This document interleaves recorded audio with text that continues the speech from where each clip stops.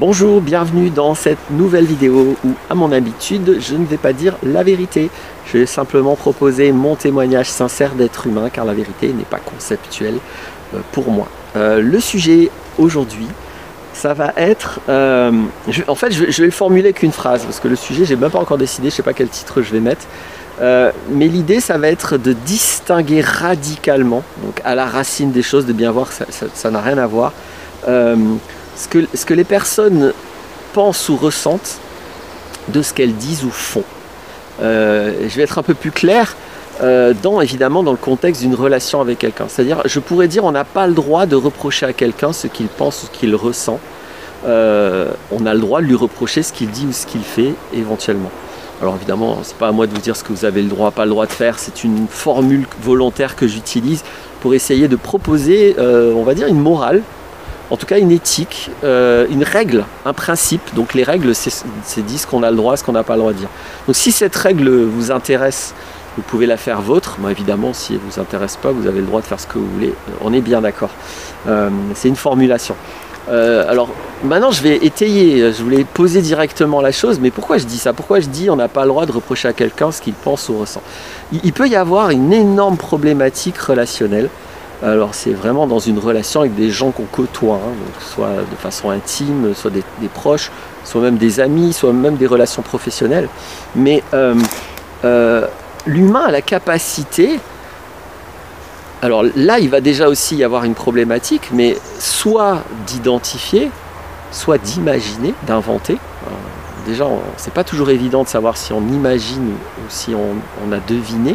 Si on a, enfin, deviné dans le sens, euh, est-ce qu'on a, euh, en gros, est-ce qu'on s'est gouré ou pas quand on imagine Mais l'humain a la capacité, parfois, avec les expressions non verbales, les réactions des gens, etc., de, savoir ce que l'autre pense euh, ce que l'autre ressent, même sans que l'autre le dise.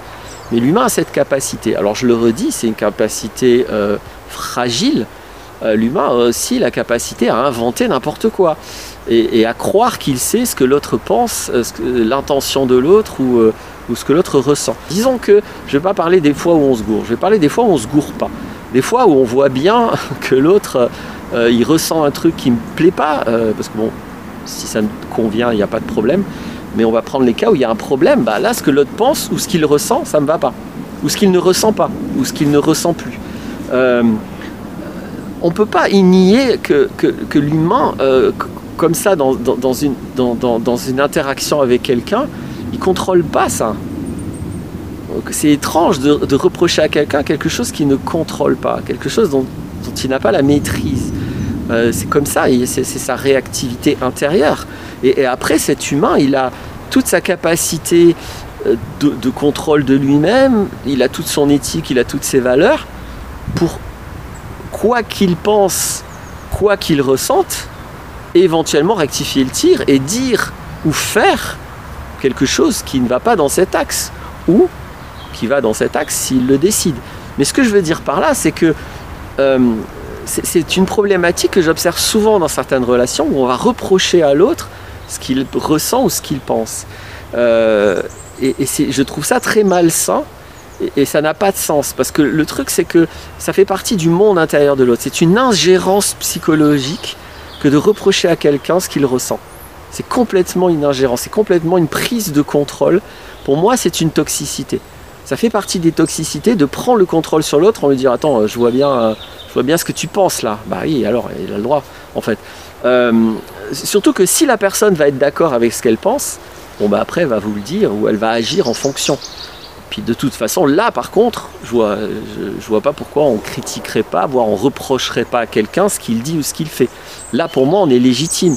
On a quelqu'un devant nous, il dit, il fait quelque chose. On a la légitimité d'être d'accord, d'être pas d'accord, de critiquer, de contester, de dénoncer. Il n'y a pas de problématique. Ou évidemment d'être d'accord euh, de s'associer, etc. Euh, mais euh, j'espère que j'ai réussi à démontrer pourquoi autant ça, c'est logique, c'est cohérent. Autant c'est illogique et incohérent de reprocher à l'autre ce qu'il ressent, euh, ou par rapport à sa respiration, ou par rapport à, son regard, ou encore une fois à son langage non verbal. Vous allez deviner quelque chose, euh, et même si vous avez bon, euh, à la limite, vous pouvez dire la frontière de ça. Pour moi, c'est de dire attends, là, j'aime pas trop. Je, vois ce qui se passe à l'intérieur de toi, ça me rassure pas trop ou j'aime pas trop. Qu'est-ce que tu vas décider? Voilà, parce que la personne, elle, a la possibilité, encore une fois, de modifier son vécu intérieur pour porter euh, une manifestation extérieure, éventuellement adaptée, différente, rectifiée. C'est tout à fait possible. L'immense majorité des humains font ça. Si à un moment donné, dans votre tête, il y a putain, lui, je veux vraiment le tuer, j'en ai marre, vous n'allez pas forcément automatiquement commettre un meurtre. Dans l'immense majorité des cas, dans votre tête, il y a l'idée de meurtre et il n'y aura jamais l'acte de meurtre. Jamais, enfin, dans certains cas, il y aura l'acte de meurtre. Donc, euh, c'est totalement humain et c'est totalement la responsabilité de l'individu qui ressent et qui pense de faire ou pas quelque chose. De la même manière, quelqu'un est en colère, va pas forcément vous piquer une crise de colère, va pas forcément prendre le contrôle sur vous. Alors c'est aussi des choses qu'on peut avoir appris euh, dans d'autres relations. Des fois c'est de la programmation, voire du dressage. J'ai peut-être vécu avec quelqu'un, surtout intimement, euh, et j'ai l'habitude euh, systématique que cette personne, dès qu'elle est en colère, elle m'engueule, elle me pourrit, elle me dénigre, c'est systématique. Et donc, peut-être que sans m'en rendre compte, je vais développer ensuite une peur de la colère de tous les humains, pas seulement de cet humain. Or, si cet humain-là euh, n'avait pas de filtre et systématiquement faisait de sa colère un abus, bah, il y a plein d'autres humains qui font pas ça. Qui, eux, euh, même quand ils sont en colère, euh, évitent d'abuser. Donc, ne, ne, transposez pas la responsabilité de, des uns sur les autres. dans tous les cas, euh, c'est toujours adapté d'agir par rapport à ce que l'autre a dit ou à ce qu'a fait, et c'est toujours inadapté, abusif euh, de, le faire par rapport à ce, que l'autre ressent ou pense. Surtout en plus si vous vous que ce qui est fréquent, euh, comme je l'ai dit au début. Donc voilà ce que je voulais juste exprimer. afin de, vous encourager à avoir des relations saines encore une fois, c'est pas la vérité, peut-être que vous ne serez pas d'accord avec ça, il n'y a aucun problème. Euh, pour moi, ça me semble hyper important. Ça me semble faire partie de ce que j'appellerais des toxicités ordinaires. Et je trouve qu'un humain qui a intégré ça et qui arrête de faire ça, et qui se le laisse pas faire aussi, hein, du coup, à vous de, quand on vous le fait, dire attends, attends, attends, euh, je ressens ce que je veux, je pense ce que je veux, t'as pas à te mêler de ça, hein. reste à ta place, euh, attends que j'ai pris une décision attends que j'ai parlé, attends que j'ai fait quelque chose. Là, tu pourras me dire si tu es d'accord ou pas.